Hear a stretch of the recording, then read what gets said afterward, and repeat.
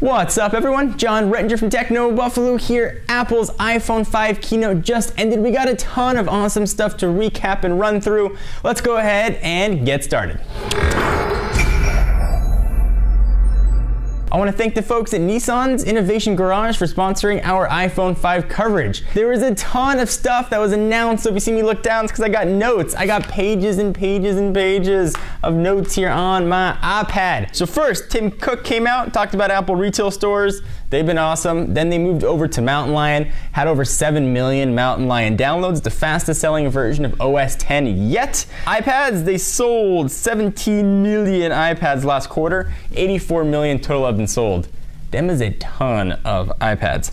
Uh, they have now 68% of the tablet market share, and they've sold more iPads than any PC manufacturer sold their entire PC lines. Over 400 million iOS devices have been sold, and then that was it. We got right to the iPhone 5. 13 minutes into the event, Phil Schiller came up on stage and we got right to it. And the iPhone 5 is the official name, regardless if it's sixth generation phone or whatever. It's called the iPhone 5. And it looks just like the leaked images. There were very, very, very few surprises. So it's made entirely of aluminum and glass or aluminium, depending on where you live. It's the thinnest and lightest iPhone yet. It's 7.6 millimeters thin. That's 18% thinner than the already pretty svelte iPhone 4S. It weighs 112 grams, so that makes it 20% lighter than the iPhone 4S. Retina display, still there with the 326 ppi, but the screen is bigger to the surprise of no one. 4 inches with a resolution of 1136 by 640. First party apps have been updated as well to show more information. So calendar shows more information, maps shows all kinds of stuff. Old apps are going to run letterbox, so it'll be a little black around them. A lot of question about how Apple is going to handle old apps. That's how they're going to do it. No upscaling, no pixel stuff. They're just going to be letterbox. Then what I've been waiting for to hear with an iPhone, LTE is coming.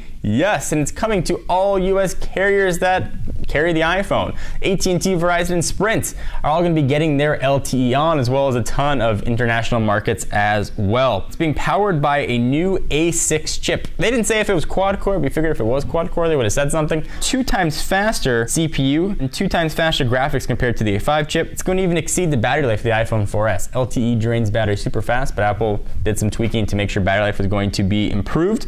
You're going to get 225 hours of standby, uh, 8 hours of LTE browsing. Camera also got a big fatty upgrade. Uh, 8 megapixel camera with backside illumination, hybrid IR filter, 5 element lens, f2.4 aperture, dynamic low light, and a new sapphire crystal. It's going to result in 40% faster photo captures. Can shoot 1080p video, get improved video stability uh, and face detection. The FaceTime camera, so now the front facing camera is also HD, it's 720p. What about that crazy dock hunter we've been hearing about? Did it come true? It did! And it's called Lightning. So we now have Thunderbolt and Lightning. It's an all digital 8 signal design. It's reversible so you can plug in either way. 80% smaller. Adapter is going to be available for the 30 pin style, so don't worry. And they talked about iOS 6.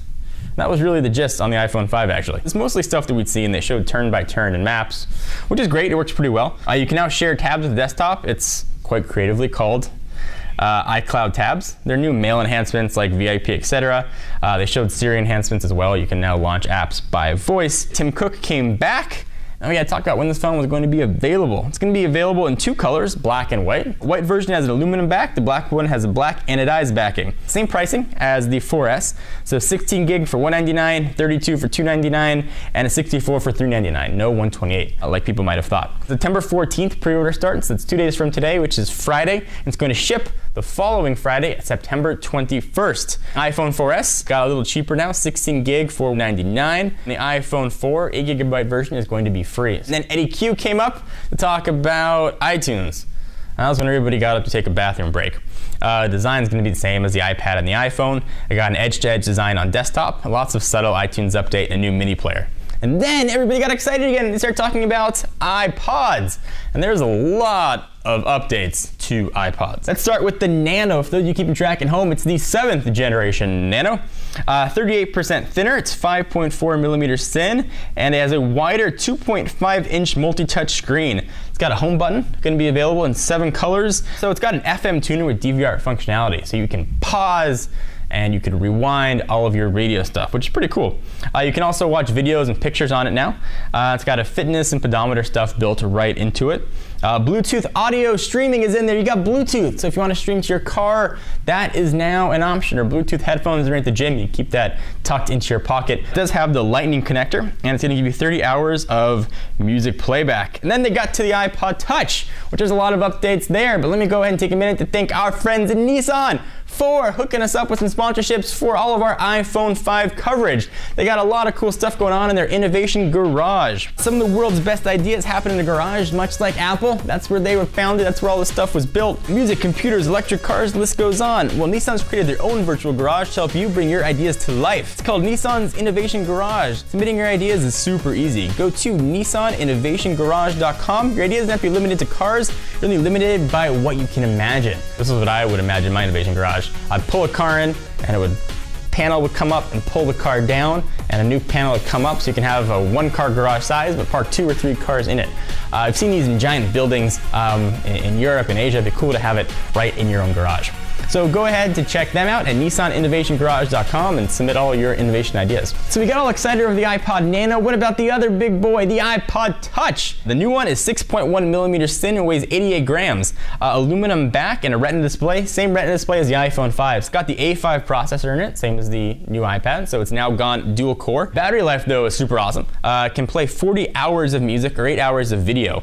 Uh, camera also got a serious update. It's a 5 megapixel iSight camera. It's got panorama mode in there as well, as does the iPhone 5. And then they surprised everyone. Apple unveiled a wrist strap, now called the iPod Touch Loop. Apple revolutionized the strap. And it's gonna be available in every color. Uh, it's gonna come standard with every uh, iPod Touch. Siri now found its way to the iPod Touch, so that's pretty awesome. Uh, pricing, uh, 299 and 399 for 32 and 64. Uh, it's gonna be shipping in October.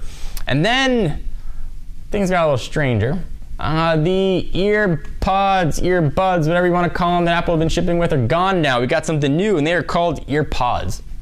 EarPods. They talked about three years in design, how it angles audio, and it's gonna sound better. Those are gonna be shipping today, but they've included with all of the new products, iPhone and iPads. They look bulbous and sort of pod-like. Anyway, guys, are you excited about the iPhone 5? You're gonna be pre-ordering any of the new iPods. Love to hear what you have to say. Of course, we'll have them all right here on Techno Buffalo. Be sure to check us out for latest and greatest tech news. I'm gonna exhale. I'm Jon Rettinger. I'll see you in the next video.